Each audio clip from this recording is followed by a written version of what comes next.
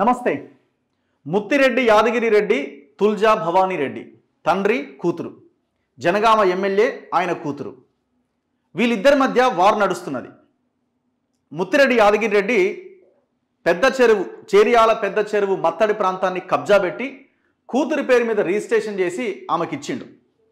ఆమె ఏమంటుంది నా తండ్రి నాకు ప్రజల యొక్క ఆస్తి కబ్జా భూమిని నాకు కట్టబెట్టిండు. సో ఈ భూమి నాకు వద్దు దీన్ని ప్రజలకు నేను రాసిస్తున్నాను. ఒక పెద్ద బోర్డు ఏర్పాటు చేసింది ఆమె. ఆ బోర్డు మీకు సోషల్ మీడియాలో వైరల్ అవుతున్నది చాలామంది స్టేటస్లు పెట్టుకుంటున్నారు. ఇగో నా తండ్రి ఊరి భూమి కబ్జా చేసి నా పేరున రిజిస్ట్రేషన్ చేసినందుకు నేను చేర్యాల ప్రజలను నన్ను క్షమించమని అడుగుతున్నా.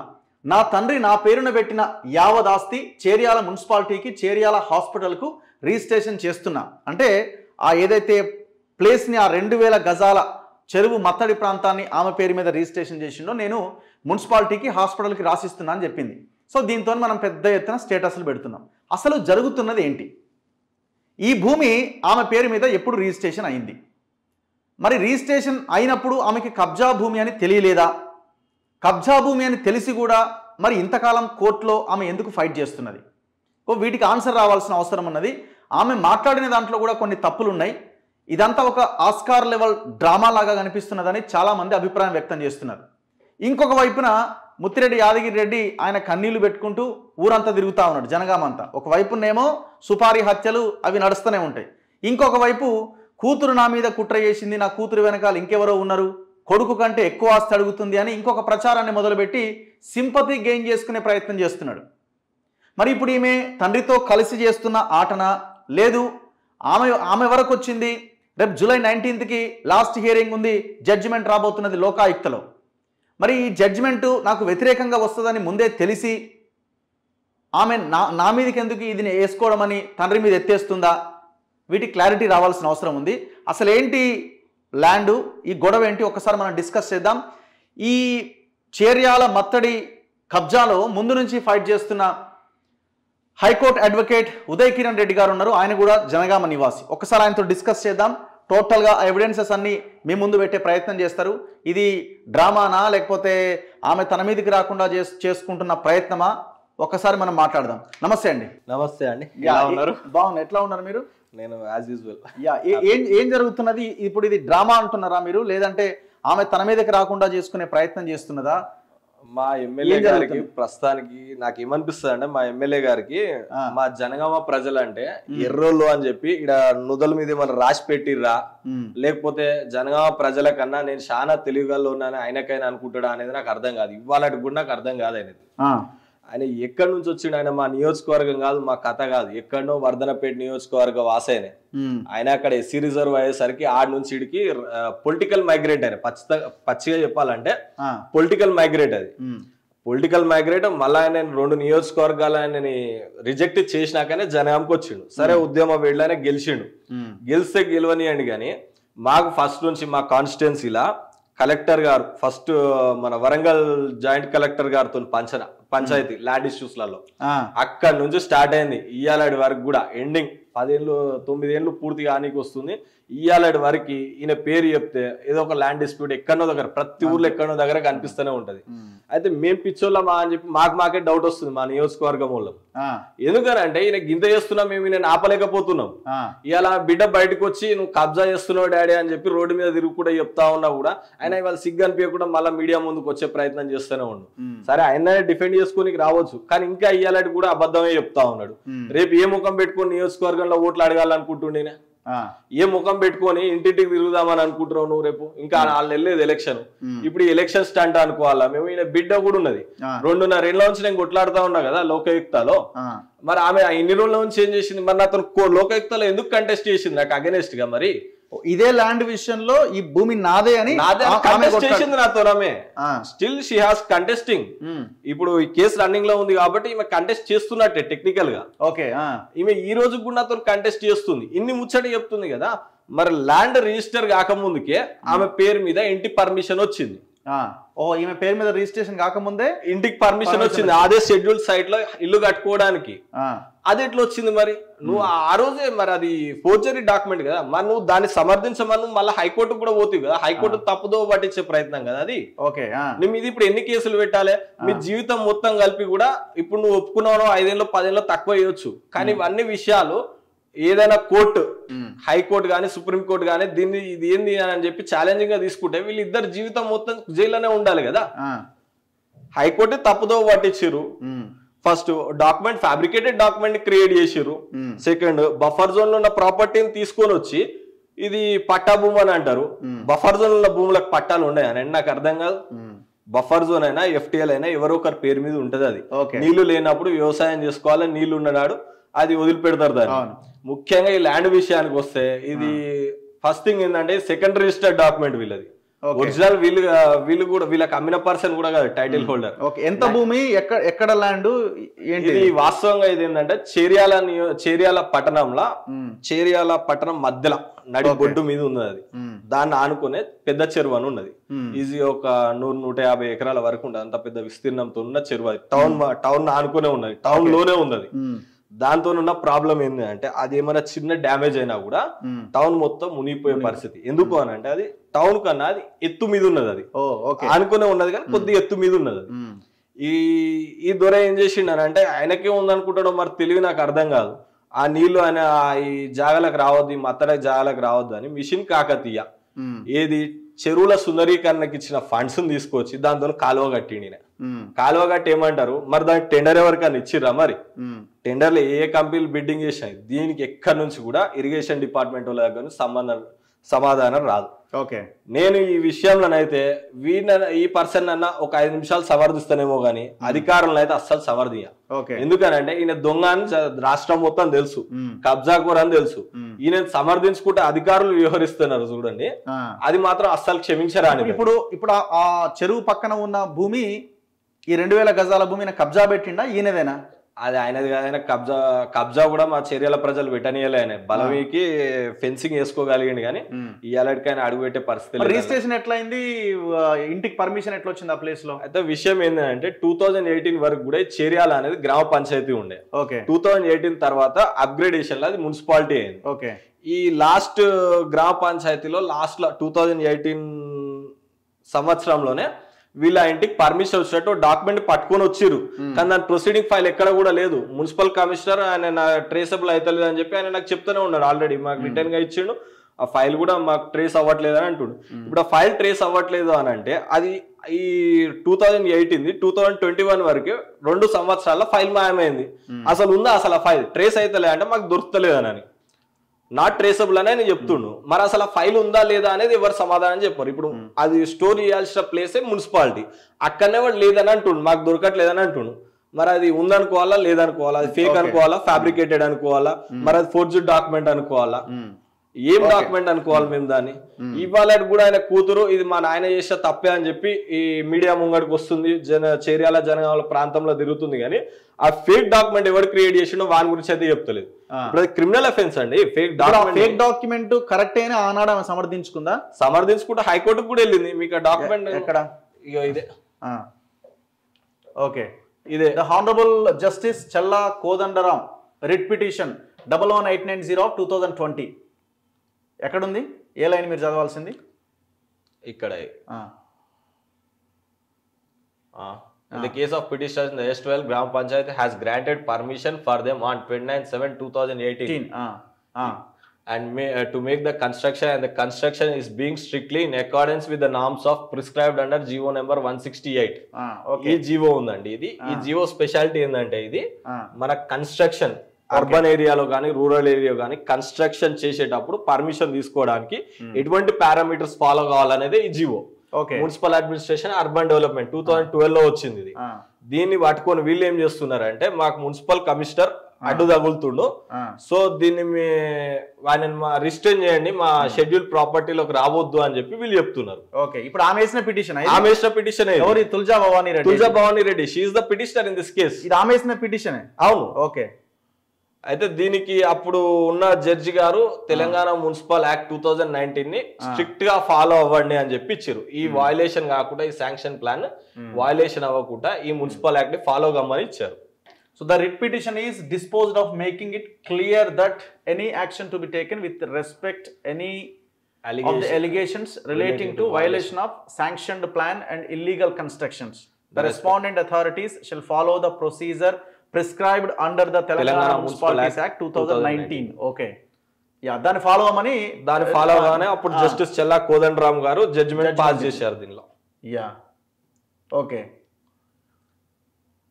యా అంటే ఆమె వేసిన పిటిషన్కి. ఆమె వేసిన పిటిషన్ ఆమెతో పాటు పిటిషనర్స్ ఇంకా బినామీలు ఉన్నారు ఇద్దరు అదే ల్యాండ్లో. అన్నం జితేందర్ రెడ్డి అని ఇంకో మారుతి ప్రసాద్ అని చెప్పి వీళ్ళిద్దరు కూడా ఇందులో ఈ కేసులో పిటిషనర్సే. ఎందుకంటే ఈ ల్యాండ్ ముగ్గురు పేరు మీద పెట్టిండు ఆయన. బిడ్డ ఒక్క ఆమె పేరు మీద పెట్టలేదు. బిడ్డ one of the document holder ఇంకో ఇద్దరు ఇంకో డాక్యుమెంట్ హోల్డర్ ఓకే. ఆ డాక్యుమెంట్స్ కూడా ఇలా వాట్సాప్లో ఉంటాయి. ఎక్కడ? ఇది ఒక్క నిమిషం. ఇది రిట్ పిటిషన్. ఇది లోకాయుక్తలో లోకాయుక్తలో సిఐ గారు ఇచ్చిన రిపోర్ట్ ఓకే. లోకాయుక్తలో ఇది నేను ఫైల్ చేసిన కంప్లైంట్ ఇది. మీ లోకాయుక్తలో ఫైల్ చేసిన కంప్లైంట్ ఇది ఆ రోజు నేను మున్సిపల్ కమిషనర్ ఆ రోజు ఉన్న మున్సిపల్ కమిషనర్ గారి మీద ఎందుకంటే వారిది అథారిటీ ఆ రోజు. ఓకే. ఈ- ఇల్లీగల్ కన్స్ట్రక్షన్స్ కానీ ఏదైనా జరుగుతున్నప్పుడు అడ్డుకోవాల్సింది. సిఎస్ఐ గారు సిఐ గారు శ్యామ్ సుందర్ రెడ్డి అందరిని ఇంప్లీట్ చేసి అందరిని ఇంప్లీట్ చేశారు. అందులో ఈయన ఈ పర్సన్ ఎంపీపీ అయినా కృష్ణారెడ్డి. కృష్ణారెడ్డి. ఈయన అక్కడ నిలబడి మరి కన్స్ట్రక్షన్ యాక్టివిటీ రన్ చేస్తుండే ఆ రోజు. ఓకే ఆర్డిఓ గారు ఈ ACB vigilance and MA and UD director గారిని ఎందుకు ఇవ్వాల్సి వచ్చింది అని అంటే. వాళ్ళు నేను కంప్లైంట్ ఇచ్చాను ఆల్రెడీ వాళ్ళకి బట్ వాళ్ళు ఎట్లాంటి రెస్పాన్స్ తీసుకోలేదు. కంప్లైంట్ కాపీ ఇది? ఇది నా లోకాయుక్తలో నేను ఇచ్చిన complaint complaint. Yeah. Prescribed format ఇది. ఆమె సేల్ డీడ్ ఏది? ఉంది. ఒక్క నిమిషం. ఎన్నో పేజ్? ఇది పర్మిషన్ లెటర్. ఏం పర్మిషన్ ఇది? గ్రామ పంచాయతీలో ఇల్లు కట్టుకోవడానికి ఇచ్చిన 2000? Permit two thousand eighteen two thousand eighteen double one double four ఎవరి పేరు మీద? కొంచెం కనబడుతుందా? జూమ్ చేస్తే జూమ్ చేయి. ఆ. Tulja Bhavani Reddy. Bhavani Reddy. Wife of Rahul Reddy. Rahul Reddy. Hyderabad నివాసి. టూ థౌజండ్ ఎయిటీన్లోనే అక్కడ ఇల్లు కట్టుకోవడానికి పర్మిషన్ పర్మిషన్ వచ్చింది. మరి ఆనాడు సైలెంటే ఆ రోజు సైలెంట్ అంటే మరి ఆమెకి ఇప్పుడు తెలిసిందేమో అది కబ్జా ల్యాండ్ అని అప్పుడు తెలియలేదేమో? ఆ? తెలియని ఎట్లా కంటెస్ట్ చేస్తుందండి? ఇప్పుడు నేను ఒక పది రూపాయలు ఒక దగ్గర చేస్తున్నా తెలిసిన తర్వాతనే మీతో కోర్టులో ఫైట్ చేస్తుంది కదా? ఇది సరైన ల్యాండే అంతే కదండి. ఇక్కడ ఈ సర్వే నెంబర్లు one four zero two. One four zero two by A. అయితే ఇలా విచిత్రం ఏంది అని అంటే ల్యాండ్ ముగ్గురు పేరు మీద ఉంది. పర్మిషన్ మాత్రం ఒక్క ఆమె పేరు మీదనే ఉంది. ఓకే ఇంటి పర్మిషన్ మాత్రం ఒక్క ఆమె పేరు మీదనే ఉంది. అట్లా ఉండకూడదు కదా? ఉండకూడదు. ముగ్గురు ఉంటే ముగ్గురు పేరు మీద ఉండాలి. సో ఇది ఆనాడు టూ థౌసండ్ ఎయిటీన్ గ్రామ పంచాయతీ ఎయిటీన్ గ్రామ పంచాయతీ పర్మిషన్ ఇది ఆ సైట్ లొకేషన్ ఇది. ఆ రోజు నేను లోకల్ సబ్మిట్ చేసిన ఇది. ఓకే ఇది కట్ట అయితే దీన్ని ఆనుకొని ఉన్న ల్యాండ్ అది. ఓకే ఇది సేల్ డీడా ఇది సేల్ డీడ్ తులజా భవాన్ వన్ రెడ్డి గారి double six by two thousand twenty twenty sale deed ఇది. ఎవరెవరికి మధ్య జరిగింది ఇది? ఎర్రి కృష్ణారెడ్డి సిద్ధారెడ్డి. ఖాన్. వీళ్ళిద్దరు ఖాన్. వీళ్ళిద్దరు కలిసి ఎవరు తులజా భవాని రెడ్డి గారికి అమ్మిరు. ఓకే. ఇందులో విచిత్రం ఏంటంటే ఈ బయోమెట్రిక్ ఫొటోస్లలో ఆమె ఫోటో ఉండదు. ఎందుకుండదు ఆమె కదా కొన్నది.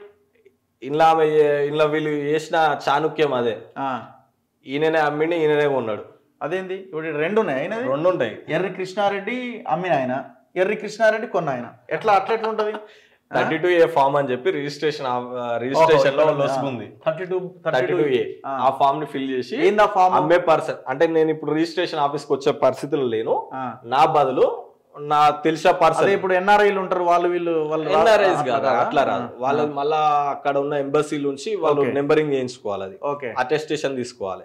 ఇక్కడ మన దగ్గరకు వచ్చే పరిస్థితి అంటే నేను హాస్పిటల్ ఉన్నా ఏదైనా పరిస్థితులు ఉన్నప్పుడు నా బదులు నాకు సంబంధించిన పర్సన్ని చేయమని అంటారు. కానీ ఈ కేసులో అయితే తండ్రినో లేకపోతే అన్ననో తీసుకొని రావాలి ఇలా. కానీ అమ్మే పర్సన్ నేను ఇప్పటివరకు ఇట్లాంటి డాక్యుమెంట్స్ చూడలే. అమ్మే పర్సనే కొంటున్నట్టుగా సైన్ చేయడం. ఇది వెండార్ అంటే 2020 వెండి ఆ, ట్వంటీ ట్వంటీ డాక్యుమెంట్లో ఇది. మరి అట్టెట్లుంటది ఇప్పుడు ఆమె వేరే పర్సన్ పెట్టుకోవచ్చు ఆయన్ని పెట్టుకోవడం ఏంది? అదే కదా ఇట్లా ట్విస్ట్ ఇప్పుడు ఏమన్నా అటు ఇటు అయింది అనుకోండి మాకేం సంబంధం లేదు ఆయనే అమ్మిండి ఆయనే కొనుక్కున్నాడు. ఆ డాక్యుమెంట్లో అసలు నా ఫోటో ఏది నా కథ ఏది అని అంటే ఏం చెప్పగలుగుతారు ఎవరైనా? మరి దీన్ని కోర్టులో మీరు ఇది చేయలేదా? ఆమె ఆమె దాన్ని క్లెయిమ్ చేస్తుంది కదా ఆల్రెడీ ఇప్పటివరకు ఆమె ప్రాపర్టీని ఆమె క్లెయిమ్ చేసింది కదా. ఆమె క్లెయిమ్ చేయలేకపోతే అది ఇష్యూ అవుతుంది. In favour of Tulja Bhavani Reddy wife of Rahul Reddy. ఇది ట్వంటీ ట్వంటీలో. ఓకే. ఇక్కడ ఇక అస్సలు కథ ఉంటుంది మనది. ట్వంటీ ట్వంటీ జనవరి థర్టీ ఫస్ట్ నాడు ఇది రిజిస్ట్రేషన్ అయింది కదండి?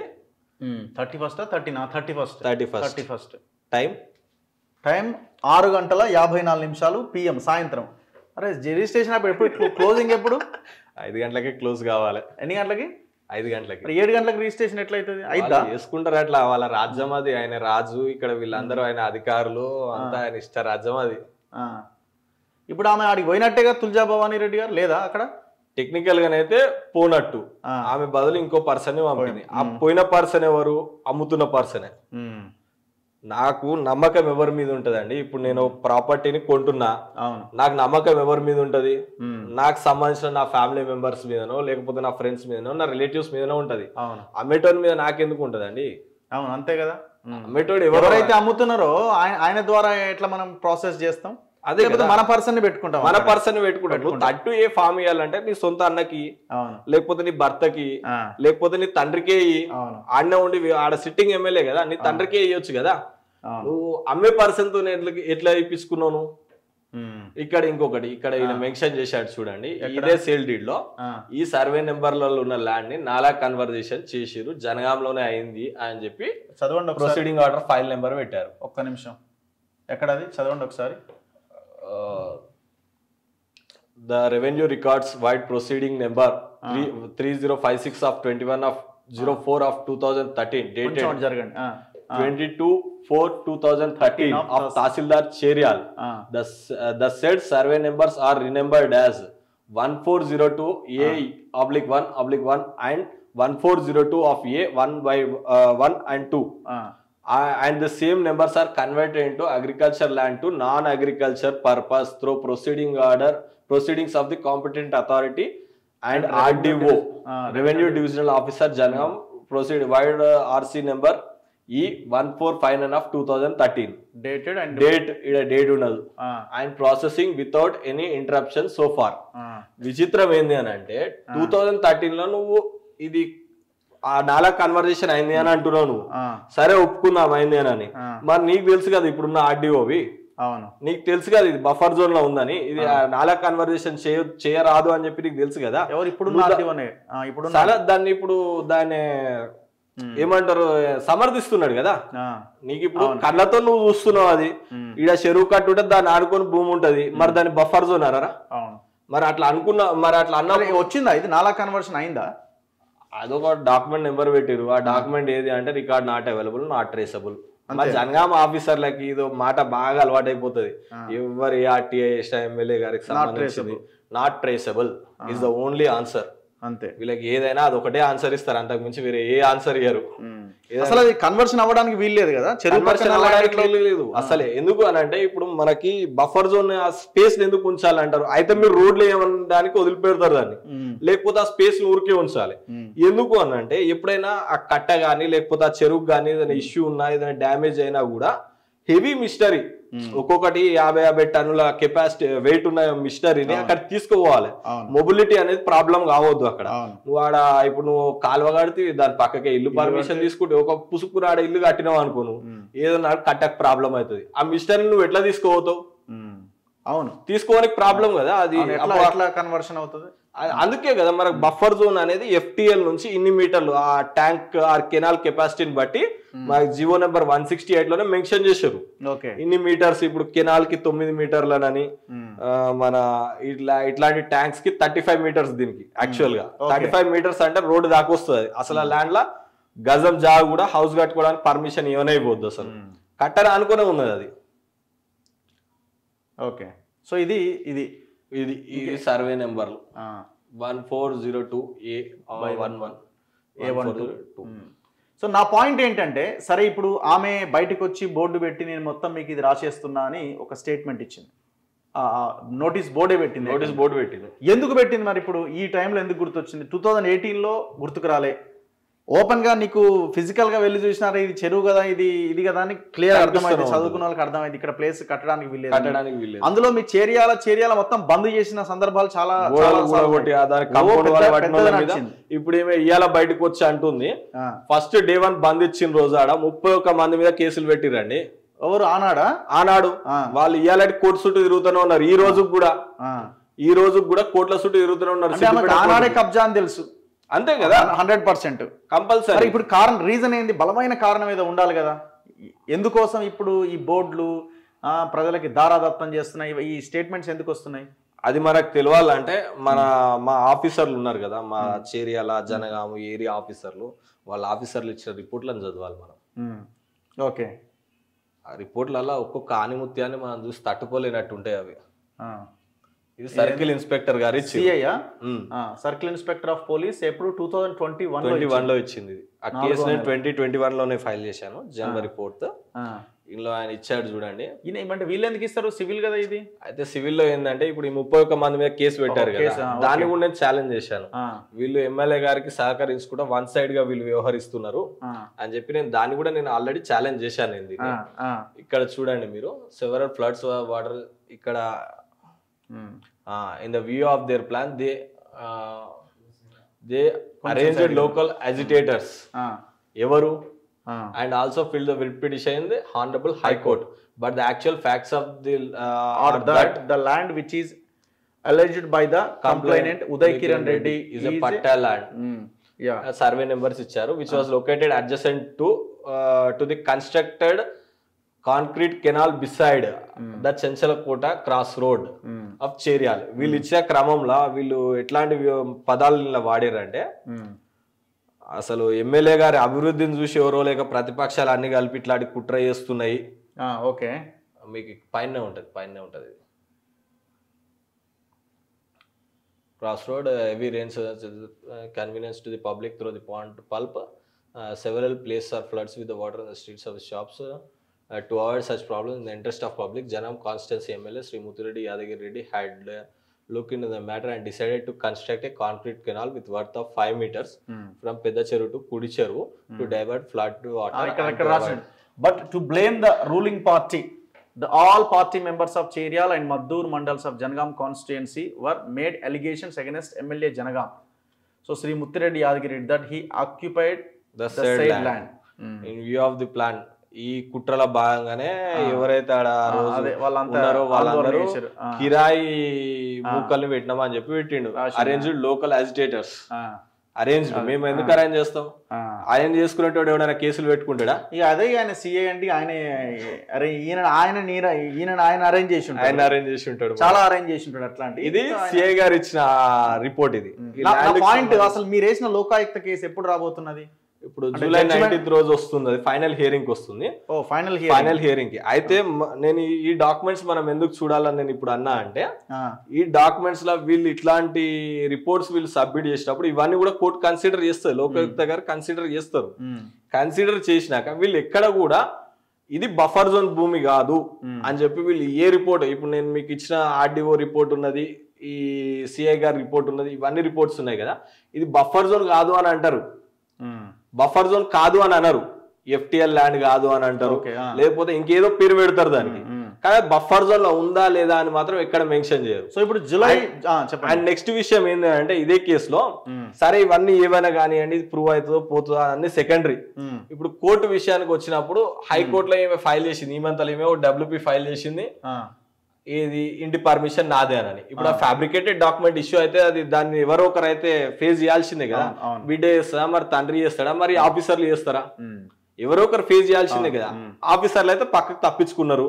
మున్సిపల్ కమిషనర్ నా దగ్గర రికార్డ్ ట్రేసబుల్లో లేదు అని చెప్పి ఆయన తప్పించుకున్నాడు. తండ్రి ఆ కేసులు ఎక్కడ కూడా పిక్చర్లో లేడు. కానీ వెనక నుంచి అయితే మొత్తం ఆయన నడిపిస్తున్నాడు. బిడ్డ. పరిస్థితి ఎవరు ఇప్పుడు ఎవరి ఇలా ఇరుకుతుంది? సో ఇప్పుడు జూలై నైన్టీన్త్ రోజు జడ్జిమెంట్ వచ్చే అవకాశం ఉంది final hearing final hearing Hearing దాని తర్వాత. జడ్జిమెంట్ దాని. తర్వాత. డేట్లో. ఓకే. సో దానికోసమైనా ఇదంతా? ఎట్లాగో మా చేతి నుంచి ఇది వెళ్ళిపోయే అవకాశం ఉందన్న దాంట్లో భాగంగా దాంట్లో భాగంగానే సరెండర్ చేసి ఉండొచ్చు. అదొకటి ఉంది. ఏదైనా హైపోతికేషన్ అండి ఈ వ్యవహారంలో. అయితే తండ్రిని చూసి ఏంది ఇంత చిల్లరగా ఉన్నాడు అని చెప్పి బిడ్డ అసహ్యంతో బయటికి రావచ్చు ఒక రకము. ఆ, ఇట్లా మెడకు చుట్టుకున్నది. ఇదేదో ఆయన మెడకే వదిలేస్తే అయిపోతుంది కదా అని అదొకటి అయి ఉండొచ్చు. లేకపోతే ఈ మనిషి మీద ఇట్లాంటి చెండాలం ఎందుకు మనకి ఇదంతా పంచాయతీ అన్నట్టు అట్లా వదిలించుకోవచ్చు. ఇలా మూడు తీర్లా మనం ఆలోచించవచ్చు. ఆమె మైండ్లో ఏమున్నది అనేది మనం చెప్పలేము దానికి. అంటే మనకి ఏది ఉన్నా కానీ టెక్నికల్ ఎవిడెన్స్ అనేది మనకు ఉండాలి. పది మందిలో మాట్లాడాలన్నా కూడా. ఇప్పుడు ఇన్ని టెక్నికల్ ఎవిడెన్స్ వాళ్ళకి పాపం? ఎలక్షన్లు వస్తున్నాయి కదండి ఇంకా నాలుగు నెలలు లేదు ఎలక్షన్లకి. ఇప్పుడు ఈ టైంలో సింపతి వచ్చే అవకాశం లేదు కదా. ఇప్పుడు జనాలు అనుకుంటలేరా? ఈ అమ్మ కూతురిని కూడా మోసం చేసిన ఆర్డర్ అవ్వ అయితే మా జనగాం జనాలు ఏమనుకుంటున్నాయన అని ఫస్ట్ అందుకే అన్నది నేను. మా జనగాం జనాలకి ఇక్కడ పిచ్చోళ్ళు అని ఏమైనా రాసి ఉందేమో అని ఆయన ఫీల్ అవుతుండేమో అని నాకు డౌట్ వస్తుంది మరి. ఈయన ఏం చేసినా మా జనగాం జనాలు నమ్మేస్తారు. ఎటు తిప్పినా నమ్మేస్తారు అని ఆయన అనుకుంటుండేమో మరి. నాకు తెలుస్తలేదు అది. కానీ ఈసారి మాత్రం వాదలు పడతాయి ఈయనకి. ఓటేమి మాత్రం ఖచ్చితంగా జరుగుతుంది ఈయనకి. ఎందుకనంటే మొత్తం తెలంగాణ మా జనగాం నియోజకవర్గం ఏర్పడిన నాటి నుంచి కూడా ఈ రకంగా వ్యవహరించిన వ్యక్తి అనేటోడు లేడండి. మాకు ఈయన ముందు లక్ష్మయ్య గారు ఉండే అంతకుముందు ఈ చేర్యాల ప్రాంతంలో ప్రతాప్ రెడ్డి గారు ఉండే ఇటు కమ్యూనిస్టులు కాంగ్రెస్ పార్టీ వాళ్ళు హేమా హేమీలు ఉండే లీడర్లు మా చుట్టుముట్టు అంతా మంత్రులు ఉండే కానీ మేము ఎన్నడూ కూడా లొంగకపోతుండే. మాకు అటు పక్క చెన్నూరు దయాకర్ రావు గారు ఉంటుండే ఇటు కడియం శ్రీహరి గారు ఉంటుండే ఇటు మోతుపల్లి నరసింహులు గారు ఉంటుండే ఇటు కేసీఆర్ నిమ్మరాజ్ రెడ్డి గారు ఉంటుండే. ఆడ వెనక పోతే మన కెప్టెన్ లక్ష్మీకాంతరావు ఉంటుండే. హేమా హేమీలు రాజకీయ దురంధరులు వీళ్ళందరూ కూడా. కానీ వీళ్ళ ప్రభావం కూడా ఎన్నడూ మా నియోజకవర్గం మీద వాళ్ళే అట్లాంటి నియోజకవర్గానికి ఈయన వచ్చి ఏదో ఇట్లా చక్రం తిప్పినా అని అనుకుంటుండే ఏదో మూమెంట్లో రెండు సార్లు బయటపడ్డావు ఓకే. అక్కడి వరకే. ఒక్కసారి మా జనగాం వాళ్ళు రివర్స్ అయితే అప్పుడు డిస్టిక్ మూమెంట్లో చూసి ఉంటాడు కదా ఆయన ఇంటికి పోనీ కూడా భయపడకుండా పోయేది. అట్లాంటి మొత్తానికి అయితే ఏదేమైనా ఏం ఆటనో డ్రామానో లేకపోతే ఆమె ఏ ఎందుకు ఇచ్చి అనుకున్నదేమో కానీ జనాలకైతే ఆ ప్లేస్ మిగిలే అవకాశాలే కనిపిస్తున్నాయి. అంతేనా? ఇంకా ఇవ్వలే కదా? ఇంకా ఇవ్వలే. ఇంకా ఇవ్వలే. ఆల్రెడీ ఓఎస్ పెండింగ్లో ఉంది. జనాబ్ కోర్టులో ఈ ల్యాండ్ మీద ఇప్పుడు ఒక రకంగా. ఇప్పుడు మీ- మీతో పాటు చేస్తున్న కేసు ఆమె ఇది ఇది చేసుకోవాల్సిన అవసరం ఉంది సరెండర్ కావాలి. కావాలి. కావాలి. తప్పు జరిగిందని ఆమె సరెండర్ ఇక్కడ ఎట్లయితే చెప్పిందో అక్కడ కూడా అదే తీరులో చెప్పాలి. కానీ అన్నిటికన్నా ముఖ్యమైన విషయం ఏంటంటే ఈ ఇంటి పర్మిషన్ అసలు ఎవరు తయారు చేసిరు ఎయిటీన్లో ఇచ్చిన గ్రామ పంచాయత్ గ్రామ పంచాయతీ పర్మిషన్ ఇప్పుడు దాది హైకోర్టుని కూడా మోసం చేసినట్టే కదండి ఇప్పుడు అది. ఇప్పుడు ఏ బేస్ మీద వాళ్ళు తెచ్చిర్రు అది? ఆమె పేరు మీద పట్టానే కాలేదు.